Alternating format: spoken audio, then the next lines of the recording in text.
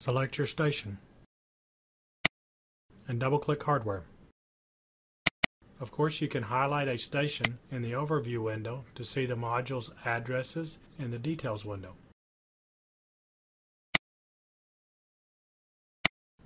To see the address overview for all devices and modules and all stations and subnets, select the View menu. Choose Address Overview. Let's stretch the window for a better view.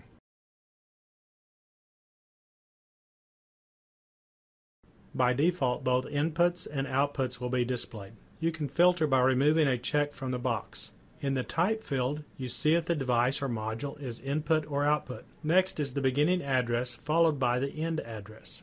Then, what the module or device is, followed by the process image the device is assigned to, such as OB1.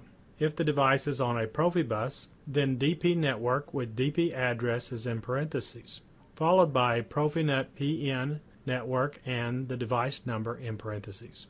Or is the device part of the Foundation Fieldbus system, followed by the number of devices in parentheses. Next, what rack is it in? What slot is it in? And if it is an interface module or an interface port, and which module slot or port number it is.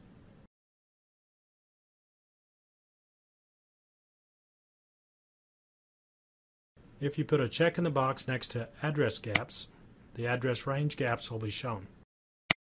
This concludes the video